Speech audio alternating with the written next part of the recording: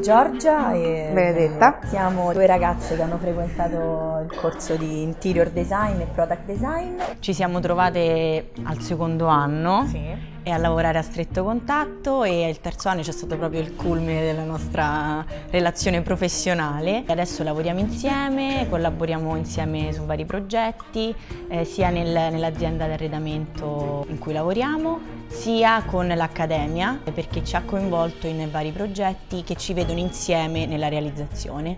Poi ogni volta che ritorniamo qua... Sì, siamo contentissimi. Sorriso... Sì, 32 denti proprio. 32 denti. Okay.